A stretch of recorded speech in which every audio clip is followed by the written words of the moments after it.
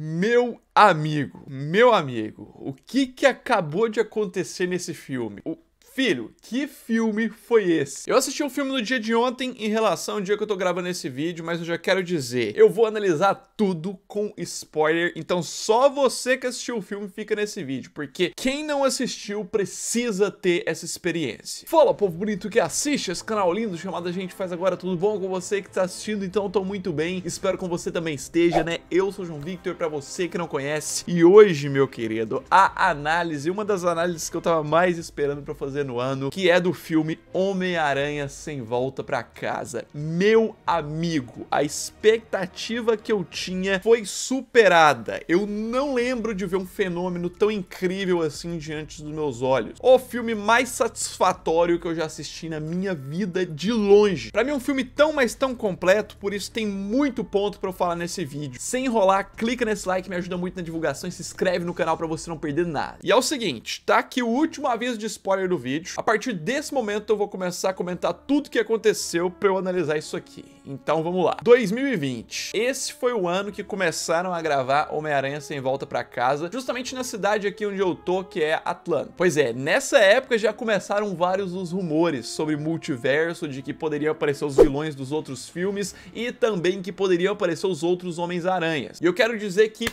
a Marvel conseguiu, meu. Tá de parabéns. Meu Deus. Os caras conseguiram guardar as sete chaves a informação de que Tobey Maguire e Andrew Garfield estavam no filme. Óbvio, teve os vazamentos, principalmente as fotos, essa, outra, outra, eram realmente reais, eram vazamentos verdadeiros, só que criaram uma vibe das pessoas não acreditarem tanto. E quando você chega lá no cinema e você assiste o negócio, principalmente no ápice, no aparecimento deles, meu querido, eu achei que eu tava vendo montagem, não tava acreditando que eu tava vendo aquilo ali na tela. Fora os vários e vários outros pontos que um monte de gente teorizou e tudo mais. Tipo, tudo que eu teorizei que poderia acontecer na minha cabeça aconteceu. Eu não, não imagino um filme assim. Primeiro ponto, vamos começar. O filme abre já acelerado, né, no ponto direto de continuação do Longe de Casa, já mostrando e dando cada vez mais intensidade pra gente no quanto a vida de Peter Parker tá ferrada. E eu quero dizer, desse início até o momento que o Doutor Estranho faz o feitiço, é realmente um ponto meio lento do filme, mas de cara ali já tem um primeiro ponto que eu olhei e falei assim, tá acontecendo, que é o aparecimento de Matt Murdock, o demolidor da Netflix, que teorizaram tanto, mais tanto, mais tanto, que chegou uma hora que eu nem tava acreditando muito. Do nada o cara aparece realmente como advogado de Peter Parker. Quando eu vi aquilo lá, eu já comecei a passar mal. Tipo, foi um aparecimento rápido, talvez foi a participação especial mais rápida do negócio, mas pelo menos colocaram um elemento de ação, ele pegando o tijolo ali rapidamente no ar, colocaram umas referências, mas daí o filme fica extraordinário. Não só louco e épico, mas bem triste e emocionante. No caso, tem que partir pro ponto da luta do Peter sozinho, né, do Tom Holland contra aqueles vilões.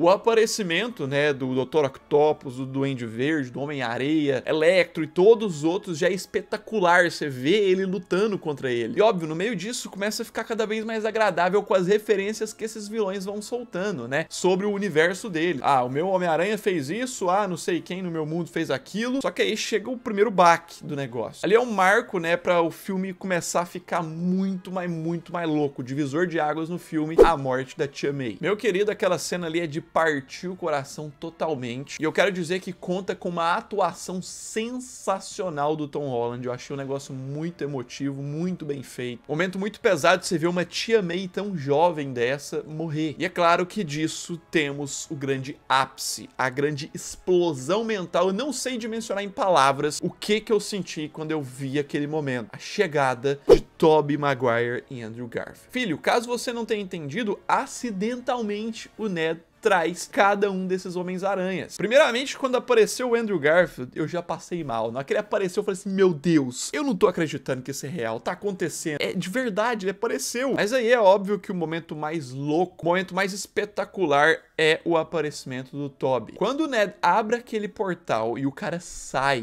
Você vê, ó, eu tô arrepiando. O cara sai, quando o cara sai de dentro daquele portal, você vê, você olha pra cara dele, você vê que é o Tobey Maguire, meu querido. Tipo, de cara você já repara na feição dele, né? Mais velho, que ele tá um pouquinho mais acabadinho. Aí você vê que é ele, tipo, o que tá acontecendo, que ele tá ali junto com o Homem-Aranha do Andrew Garfield no filme do Tom Holland. Pra mim, a chegada desses dois caras ali, aquelas cenas, pra mim, são de longe até agora o momento mais épico da história do cinema, pra mim. Minha opinião, nada no cinema até hoje mexeu tanto comigo quanto ver aquela cena. E o melhor de tudo, a experiência de não saber se eles iam aparecer ou não foi de surpresa. Por isso eu recomendo, para você que assistiu esse filme, não saia espalhando spoiler. Porque para qualquer outro filme ou série, você espalhar spoilers, em alguns pontos até que dá para entender, mas esse filme você tem não ter nenhum amor no coração para espalhar, porque simplesmente não dá. E continuando pro foco assim, análise, só o aparecimento dos dois já é épico, mas a forma como eles atuam, a forma como eles participam do filme, é um negócio que sobe mais ainda no conceito, gera muito mais satisfação. Piadas muito bem colocadas pelo roteiro que geram aquela felicidade imensa em quem tá assistindo. De cara também a construção deles como personagem para esse filme, porque a gente conhece eles no outro filme, mas ali eles precisam provar que eles são Homem-Aranha então é muito legal você ver os dois ali interagindo e provando isso. E disso a gente já parte pro encontro dos três, né? Quando encontram ali com o Homem-Aranha do Tom Holland, ele tá chorando, ele tá destruído por causa do acontecimento mais triste da vida dele. E tudo passa do ponto épico para ser bem mais emocionante. Tipo, emocionante porque você tá vendo os três ali em tela, finalmente, depois de tanta montagem, tanta coisa na internet. E outro ponto emocionante é como o roteiro faz esse encontro ter um grande sentido. Porque os Homens-Aranhas de Andrew Andrew e Tobey encontram o Homem-Aranha do Tom Holland no momento que ele perdeu alguém querido. Ele era o único Homem-Aranha que não tinha tido essa experiência, e só quando ele teve essa experiência que ele encontrou os outros. E nisso a gente já vê a atuação, por exemplo, do Andrew Garfield ali, ele indo muito, muito bem pro lado emotivo do negócio, o roteiro dando espaço para ele contar a história de quem ele perdeu, que foi a Gwen Stacy, meio que sendo uma continuação pra gente do filme espetacular Homem-Aranha 2, pra gente ver um pouco mais do luto desse personagem por isso, e também o filme construindo mais para esse personagem. Porque pulando lá pro final, temos o acontecimento de algo que teorizou tanto, mas eu não acreditava tanto que ia acontecer. Ele se redimindo com ele mesmo, né? Como ele não conseguiu salvar a Gwen, como ela morreu, ele consegue salvar o que seria a Gwen dele de outro universo, a MJ. Filho, quando eu ouvia falar dessa possibilidade, eu já imaginava, não, aí já é longe demais, né? O Andrew salvar a MJ. E aconteceu. Por isso que eu falo, é uma sequência de tantas coisas satisfatórias e ligação do roteiro que é muito bem feito. E é claro, indo pro Toby, ali também a gente tem um grande destaque na atuação dele como o cara mais sereno, que também faz umas piadinhas muito legais, mas ele meio que tá ali como o Homem-Aranha pai de todos. É como se fosse o mais velho mesmo, que parece ser o que mais sabe, o que mais tem experiência. E é claro, daí a gente parte para momentos deles trabalhando juntos. Foi épico vendo eles na característica forte de Peter Parker, trabalhando ali como cientista, o cara que faz tudo sozinho, só que agora os três se ajudando e vale destaque mais uma vez pro Tobey, porque é incrível como que, tipo, nesse momento você já tá satisfeito, tudo que você imaginava já aconteceu, eles já se encontraram, mas o filme consegue criar uma expectativa maior pra gente depositar em cima do Tobey, porque o cara, ele é o único que aparece sem o uniforme do Homem-Aranha original. Então, você ainda dentro do negócio ali, mesmo na loucura, você ainda tem uma expectativa de ver ele com esse uniforme depois. E essa expectativa é suprida lá na frente. Então, mais um nível, a carga gigantesca de satisfação vindo pra gente. E é claro, quando ele aparece com o uniforme, coloca a máscara ali, todos juntos naquelas cenas de close que eles dão, a revelação e a possibilidade de a gente reconhecer na tela que o trailer realmente tirou eles digitalmente, que todas aquelas cenas lá da Estátua da Liberdade, na verdade, eles estavam eram juntos lutando, aquilo ali é espetacular. E é muito louco ver também a construção do trabalho em equipe deles, que de início eles olham um pro outro e falam: é, tá meio difícil, a gente nunca trabalhou junto, como é que é? Mas depois logo eles já conseguem colocar as coisas nos eixos e conseguem trabalhar junto. E óbvio, né, eu preciso parar um pouquinho nessa questão de história para falar de algumas referências rápidas que não tem como eu deixar de falar aqui, partindo lá da morte da Tia May, que dali, né, sem a gente ter visto o Tobey Maguire ainda, ela já fala, com grandes poderes vem grandes responsabilidades. Dali eu já gelei tudo. E aí depois o Tobey aparece e diz a mesma coisa. E aí depois ainda tem aquela cena que eu acho que todo o cinema vibrou quando viu aquilo lá também, que é a interação do Homem-Aranha do Tobey com o do Andrew, falando que ele é espetacular espetacular, você é espetacular. E, tipo, o nome dele é espetacular Homem-Aranha. Então essa referência, esse fanservice, aquilo ali foi lindo e para fins de história mostra pra gente que eles preocuparam em mostrar não só a maravilha que é esses dois Homens-Aranhas encontrarem o Tom Holland, o Homem-Aranha dele, mas a maravilha que é esses outros dois Homens-Aranhas interagindo entre si, tirando a parte do Tom Holland. Também teve espaço para isso, teve espaço para tudo, para cada coisa. Vale destacar também no ponto dos vilões, o Duende Verde se consagrando como o grande vilão do negócio, quem diria? Primeiro vilão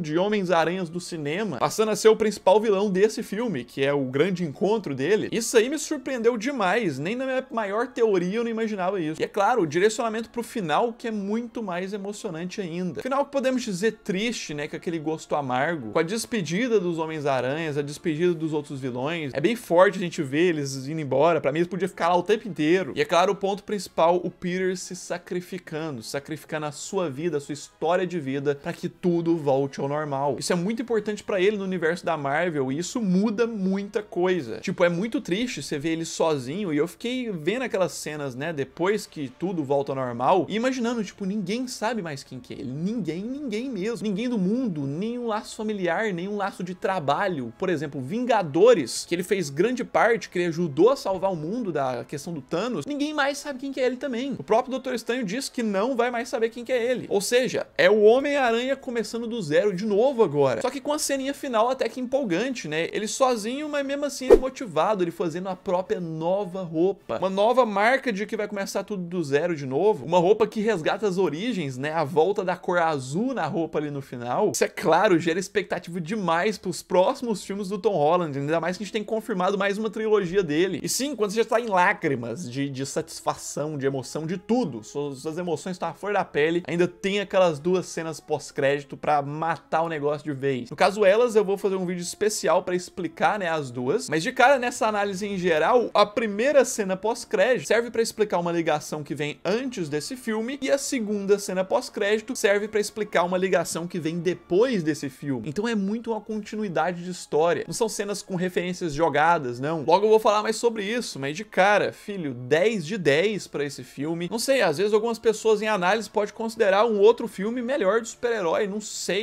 quem que vai achar isso, mas esse é o filme de super-herói que mais gerou impacto em mim. Para mim tudo se encaixa perfeitamente, tudo funciona. E o que eu busco para saber se um filme é bom é satisfação. Se ele vai me prender, e esse não só me prendeu, me gerou felicidade e alegria, como me gerou surto. Quase levantei e subi na cadeira do cinema. Isso para mim é mais do que suficiente. Mas é claro, eu quero que você coloque nos comentários você que assistiu, você que tá assistindo esse vídeo. Escreve aí o que, que você achou, qual é a sua opinião. Clica nesse like, vai me ajudar demais na divulgação. Se inscreve no canal. Eu ainda vou trazer muito vídeo sobre a continuação aí do universo da Marvel. E no mais é isso aí, logo eu tô de volta. Um abraço, fui!